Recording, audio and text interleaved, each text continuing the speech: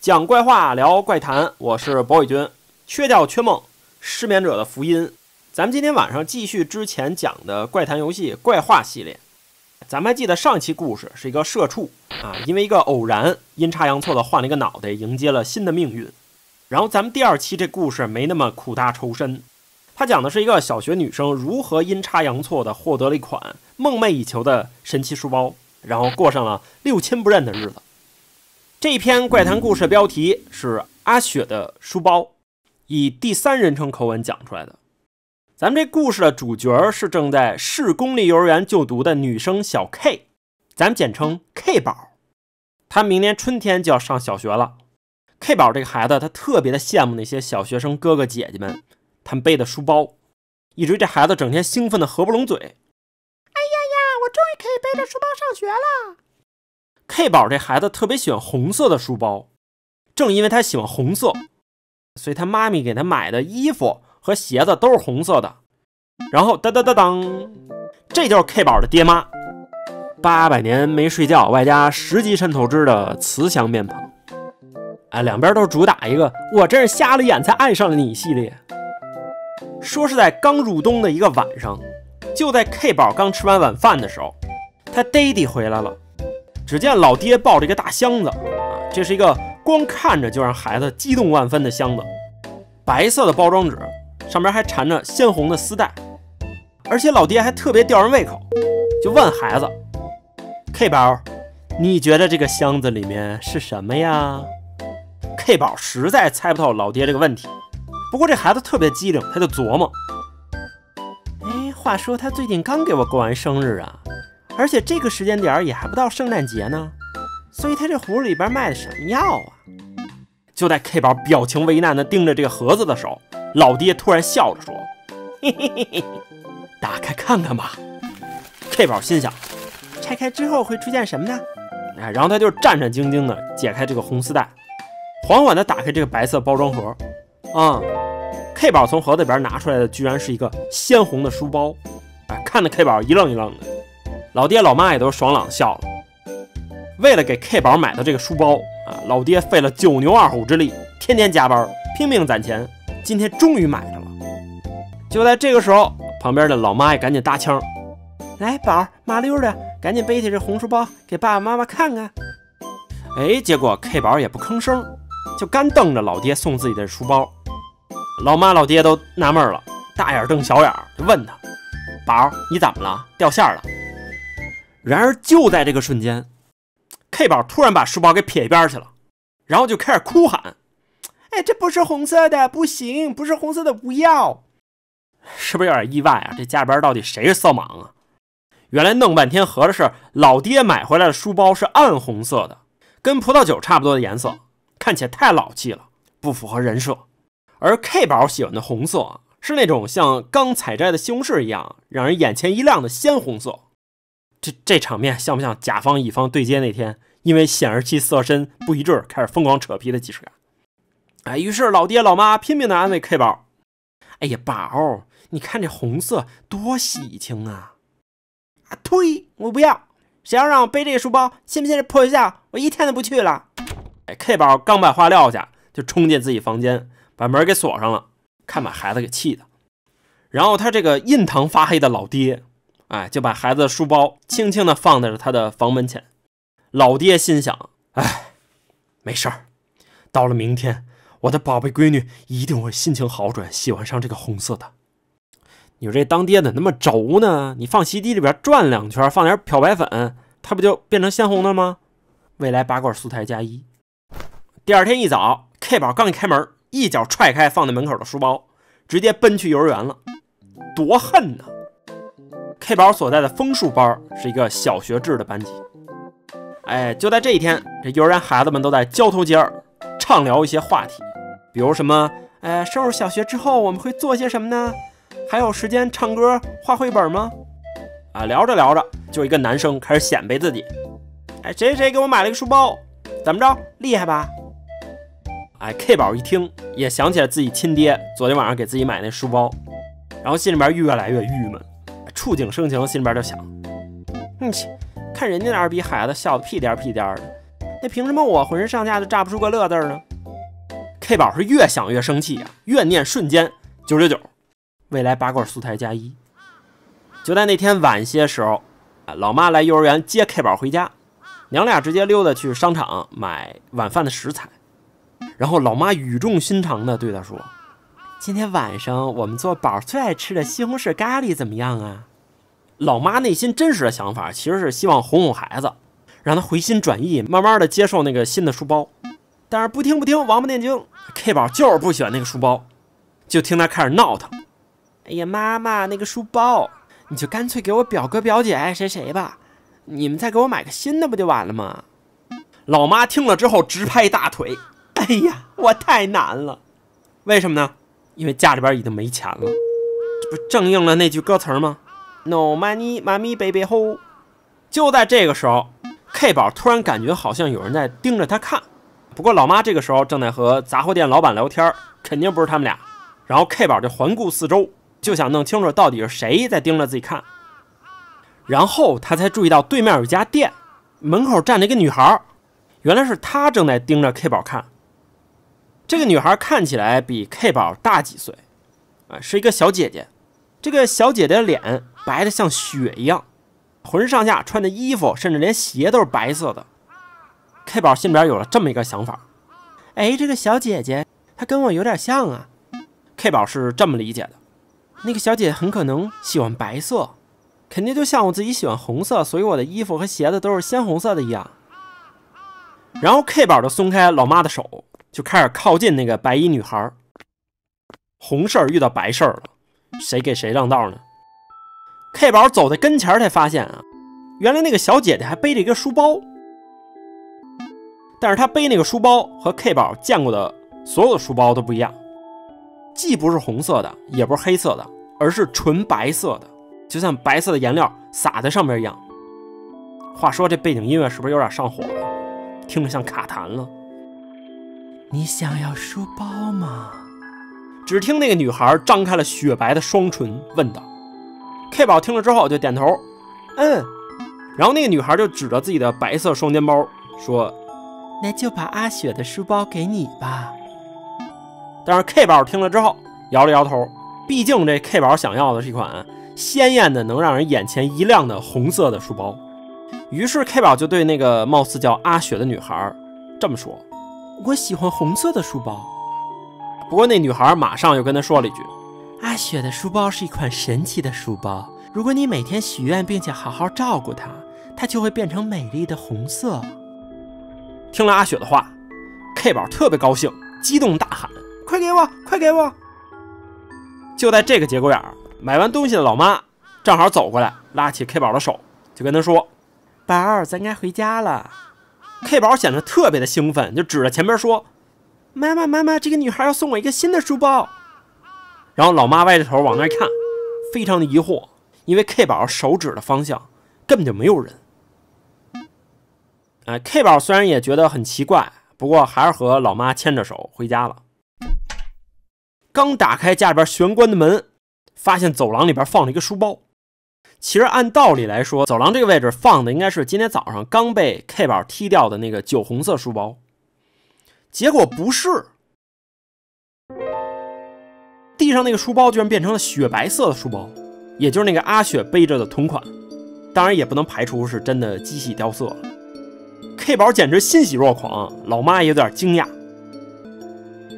当天晚上，就在 K 宝刚睡着没多久，老妈就和刚下班回家的老爹商量，她一脸严肃地跟自己丈夫解释：“你看看。”你看，你给孩子买的红书包已经完全变成白色的了。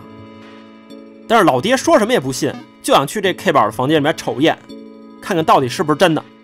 于是老爹就轻轻地推开了房门，发现孩子已经抱着一个白色的书包安详地睡去了。老爹看着心想：嚯，还真是这么回事儿啊！然后他就悄悄地关上房门，和孩子他妈就讨论起来了。哎，不是我说啊。我活这么多年，从来没听说过有白色的书包，而且老爹坚决不能容忍 K 宝背着白色的书包上学。为什么呢？因为那个时代啊，所有人都说，哎，小男孩就该背着黑色的书包，小女孩就该背着红色的书包。哎，别问问就是耐脏，问就是喜庆。还是老妈通情达理，就说：“但是孩子看起来很喜欢那个白色书包啊，白色怎么了？白色书包还不能背了？白洞，白色的明天在等着我们。”开两钟头会就得出这么点结论，还是得理解，毕竟眼睛都捐了，头一钟头摸半天没找人。然后老爹也就同意了，哎，他愿意背就背去吧。K 宝以后就背这个白色书包吧。从那天开始，K 宝就信了阿雪的话，背着他的白色书包到处蹦的，走哪儿就背哪儿。和其他小朋友一起玩的时候也背着，在幼儿园里边干什么都背着，把这幼儿园老师都弄没辙了。时光荏苒，一转眼都到了小学入学典礼那天了。K 宝背着那个白色的小书包参加了典礼，因为所有人都对 K 宝这个书包习以为常了，所以也没人觉得有什么稀奇的。反正 K 宝也每天都兴高采烈地背着他这个白色书包去上学。啊，老妈和老爸也是每天面带微笑着看着 K 宝幸福的样子。怎么说呢？这故事到目前为止有点太正能量了。就在一年级学年的某一天，K 宝有点感冒，虽然没发烧，只是脑袋有点晕晕乎乎的。但是当天还是向学校请了假，K 宝就回家休息。突然有点不对劲儿了。躺在床上，不知不觉就睡着了，就做了一个梦，梦中又出现了当初送他书包的那个阿雪。哎，还是那句余音绕梁的老话：阿雪的书包是一款神奇的书包，只要每天许愿并且用心呵护，它就会变成美丽的红色。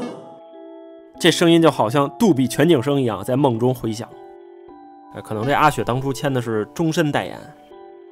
K 宝一觉醒来。就发现枕头旁边的书包有点奇怪，怎么怪呢？哎，巴啦啦能量，原本像雪一样白的书包，居然稍稍的变成了樱花色。哎，是不是瞬间明白了？这等同于一个吸阳气的书包。K 宝非常的开心，心想：太好了，肯定是自己的愿望传达给了书包。K 宝觉得这书包已经稍微接近他心目中的红色了，他就开始相信。这个书包肯定有不可思议的力量。转眼到了二年级的一天，上体育课的时候，K 宝感觉头特别的晕，然后就在医务室里边休息，一不小心又睡着了。然后阿雪又出现在他梦里边了，还是那句招牌的话术：去阳散血，助眠安神。雪宝，一款真正人性化的智能书包。还孩子一个诗意的童年。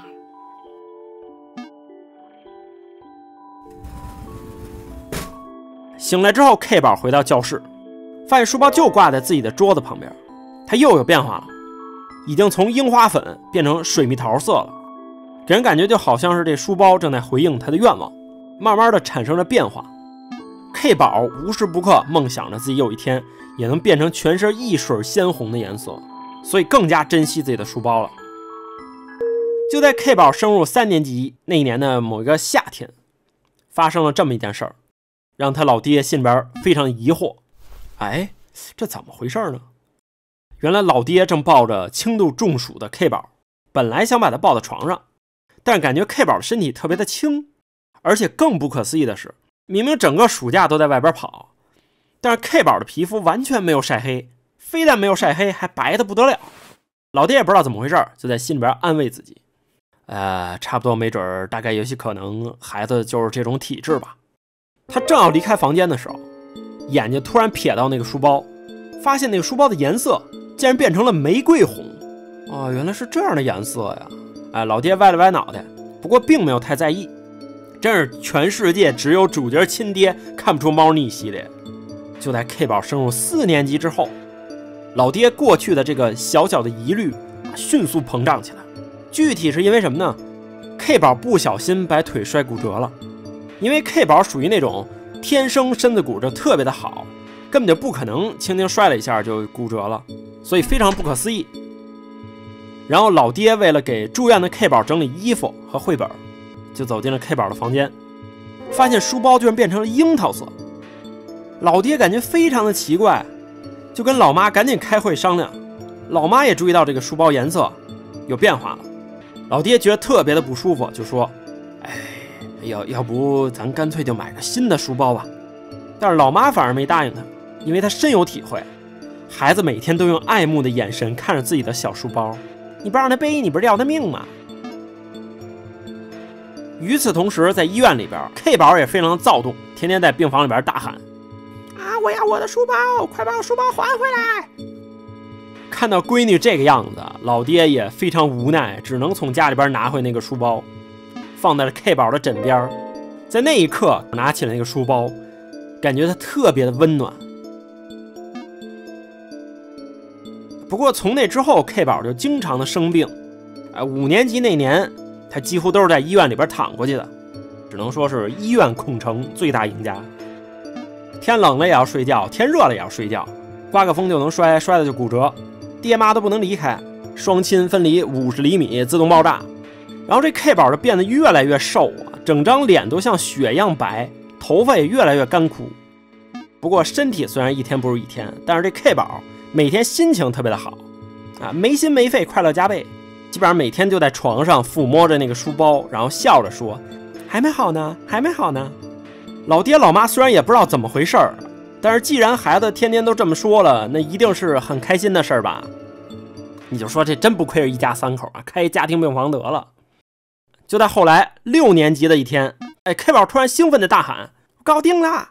孩子兴奋的大叫，但是这么亢奋对身体不好，爹妈就试图说服他赶紧冷静下来。但是 K 宝完全不听爹妈的劝告，背上了小书包，K 宝就从床上跳下来了，就像唱歌一样的大喊：“太好啦，我做到了，我的书包红透了，我的书包红透了，是吧？都这样了，还能说什么呢？哎，只能只能说，对于小学生来说，不上学才是最好的医美。”然后 K 宝一边笑一边扭动着自己的身体，好像在跳舞一样。他这个脸颊干裂，面容憔悴。连眼珠子都要蹦出来了，活像一条死鱼。而 K 宝背这个双肩包，现在已经变成像刚采摘的西红柿一样闪瞎人眼睛的鲜红色。而他爹妈站在一旁看着，也不知道该说什么好。于是这 K 宝就继续跳啊跳啊，呃，再也没停下来过。不久之后，K 宝从医院消失了。他住过的这个病房里边，床上放着一个红色的双肩包。他的老妈和老爹舍不得扔，所以直到现在还把这个一摸就觉得有点温暖的书包小心翼翼地收在家里壁橱的最里边。然后这个时候咱们才知道，这个故事原来是一个纸之居说书人讲给路边孩子听的。故事到此结束，谢谢你们大家听到我说的最后。哎，来来来来来，给大家发点糖吃吧。听好了。这可是一个真实发生过的故事。如果你们要在哪儿遇到了阿雪，可一定要告诉叔叔啊！成了，现在我们得去下一个镇了。于是孩子们看着这个背影，就在议论：“哎，那个书包怪叔叔总是表演同样的连环画戏呀，好无聊啊！”哎，那又怎样？免费送零食，这不挺好的吗？哎。出现了关键道具，雪宝智能书包。喂，那个书包刚才是不是动了一下？一九九零年，N 县。这个故事其实没有多长，它也没多复杂。然后我看了一眼作者这个设定集，他说自己这故事里边其实融合了两个怪谈的灵感，一个是陌生人的馈赠往往要付出代价，还有一个是怪叔叔。哎，其实这种故事并不少见，就是那种典型的陌生人给你的东西，千万不要收，因为你不知道要付出什么样的代价。至于这故事里边那个白衣小女孩阿雪，她到底是谁，也不是特别重要啊，就是一个有开放性色彩的角色。因为在很多故事里边，甭管东方还是西方，都会有那种什么魔鬼的化身蛊惑小孩，跟他签订什么契约，实现他的什么什么愿望，而且非常有诱惑性。然后这个契约的内容乍一听好像也没什么大不了的，但实际上一旦签了，你就发现这个玩意儿就是一个卖身契，啊，他一定会夺走后续人生里边很重要的东西。故事里边这个书包很明显，它就是吸食了 K 宝的阳气啊，把他的健康夺走了，还他一个百分之一百合他意的书包。你要说讲这么一个有头没尾的故事，一个很明显会杀人的怪东西，他得逞了，那这就是一个传统怪谈。但是你要再说把这个东西给收容到一个什么什么机构里边，天天做实验观察，给它定一个性啊，这可能又成了一个新怪谈。你像前者这种传统的什么都市传说、怪谈故事，它往往有一层社会属性，它多少会反映相应的某个时代的一些社会问题。你比如这个作者，他在这个游戏故事的文本里边也写到了，说那个时代日本在社会层面上，什么小男孩就得背黑色书包，小女孩就得背红色书包，那为什么呢？反正大家都这么背，你也这么背得了。除了黑的，就是红的。那我背白色书包上学啊，人都说我神经病。他还能有什么理由呢？这不就是一个服从性测试吗？我给你编一个：黑色耐脏，红色透亮。你看他这个故事背景，一九九零年恩县，你别管是真的假的。作为我本人来说，我不知道别人啊，哎，差不多两千年前后，我刚上小学的时候，那时候下雨，哎，家里边有把红伞没人用。我就打红伞上学，然后当时印象里边还穿了一个雨靴，雨靴也是红色的。哎，结果当时就一帮小孩儿啊，可能不是跟我一般的，非得追在后边啊，一直说：“哎呀呀呀，真不要脸！哎呦，大老爷们穿什么红色的呀？”哎，当时我就想，你说这帮二逼崽子，在当时那个年代，确实给了我一定的压力。不过二十多年以后，我在想。啊，这帮二逼崽子，你说你是吧？你们这帮单细胞生物啊，只能看见黑白的这种单细胞生物，你你们确实不能体验到我们这种高维生命体能看到那种五彩斑斓的世界的美妙。你看现在还有人说什么穿红色的不要脸吗？没有，是吧？遥想当年那些单细胞生物，他能想象到吗？如今红色都能给你细分出好几十种来啊，什么水红、木红、映红、亮红、双红。啊，什么朱砂、草莓红，什么茶花红、高粱红，啊，反正红红火火、恍恍惚惚啊！你甭说红色了，不是想穿什么穿什么，想背什么背什么，还有拥抱大自然不穿的呢，对吧？哼故事中这个小女孩 K 宝，她其实也不是特别的叛逆，她只是觉得老爹给她买的书包不够鲜红啊，有可能她老爹的眼睛是 sRGB，然后她的眼睛是 DCI-P 三，然后和这故事类似的，我想起一部电影。大概我中学的时候看的，好像叫黄铜茶壶。然后故事里边有一个像传说级宝贝一样的茶壶，它可以让人发财，但是代价就是你要伤害自己，或者伤害你最爱的人，它里边就能蹦出钱。你伤的越狠，它里边钱蹦的越多。我相信肯定有观众看过。至于这故事结尾表演那个纸戏的怪叔叔到底是谁，作者在设定集里边说，如果我就讲一个和标题一样的什么阿雪谁谁谁的书包。那这故事有点太单薄了，于是呢，我就填了这么一个角色进去。然后这个怪画系列，尤其这个怪画二，它里边一些故事其实互相之间有关联的，所以咱们越往后越能看到这些故事之间到底有什么关联啊。然后后续还有十几个故事，篇幅也相应的变长了啊，咱们慢慢的一一道来。回见。